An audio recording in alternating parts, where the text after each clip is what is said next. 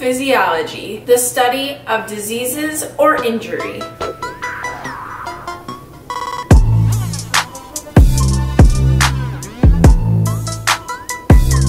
This class is not easy, guys. The human body is complex and very complicated. Understanding how disease processes work require you to understand the human body. It's very easy and normal to feel dumb when you take this class. Little story here. Before I started nursing school, I actually thought the small intestines were what the pee went through. Then one day we studied kidneys and I found out, oh, the kidneys filter your blood and makes urine and the small intestines are part of the GI system, not the GU. So if you're feeling dumb, you're not alone, we've all been there. I did pass pathophysiology on my first try and it was one of my favorite classes. So I'm to share with you guys how I passed pathophysiology. Let's get to it. First thing you should do is look at the syllabus and know where your points are most heavily set on. Then you want to know your teacher or professor's style of testing and teaching. For my nursing program, my tests were worth 80% of my grade, so it was very... Yikes.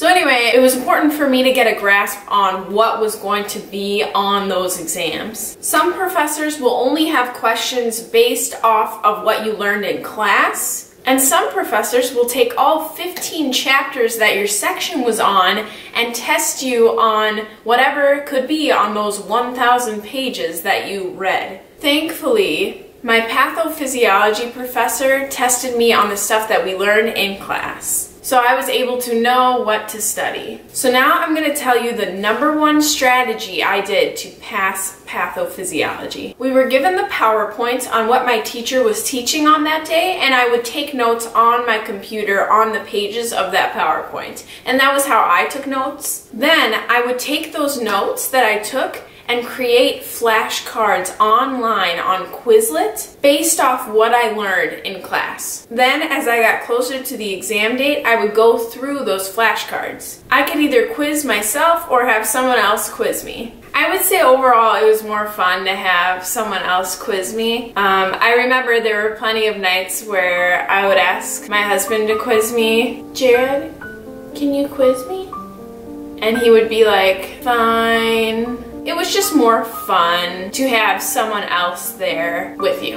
And here is really the key. The reason that I made flashcards as opposed to just studying and looking through my notes is that flashcards force you to quiz yourself. They force you to realize whether you actually know the material or not because it's very easy for me to look at notes, and I've done this before. It's very easy for me to look at my notes and think, oh yeah, I know this stuff. And then once I get to the exam, I realize, oh no.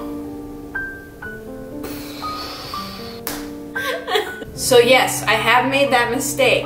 Quizzing yourself also forces you to think and know what you understand and what you don't. I'm going to give an example. Let's say I learned about COPD and I took notes on it. This is chronic obstructive pulmonary disease. I'm using this example because it's the most common lung disease in the world. So I'm reading through my notes and they say symptoms include breathing difficulty, cough, sputum production, and wheezing. So you're gonna look at these notes that you just read and you're gonna think, yeah, I know that. I know it's a lung disease. I know it makes breathing difficult.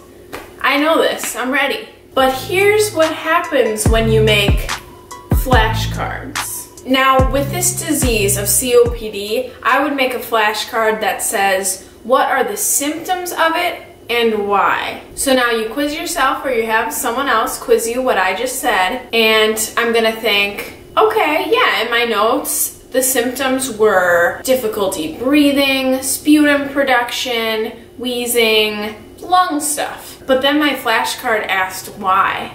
And now thinking back to nursing school, in my mind I would have been, okay, well it's a lung, because the lungs, it's a lung disease, because it affects the lungs. That's why you have those symptoms. Now, you see, I have just been forced to realize that I don't really know why. Okay, I do know why. I'm just giving the example of how I would have been before I learned why, the why of COPD. I'm pretending I haven't gone through nursing school yet and I'm in pathophysiology, okay? So why is this patient having these symptoms. We know it is something to do with the lungs, but what? Because of the flashcards, you know what you don't know. This is just one example. With pathophysiology, with any disease, you want to know why and really get down to the nitty gritty. Why is the disease causing those symptoms? What are the risk factors? Okay, smoking is a risk factor for COPD, but why? Because it irritates the epithelium of the alveoli, alveoli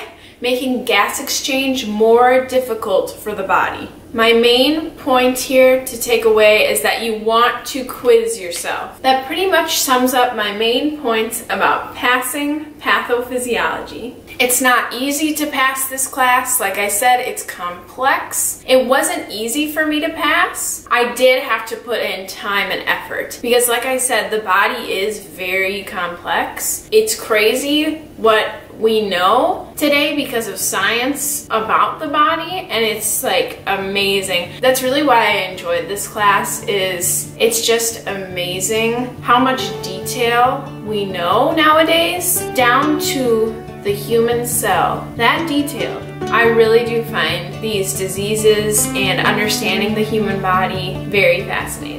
So that's why I enjoyed it. So good luck to all of you and comment below if you have any other questions. Have a good week guys. See ya.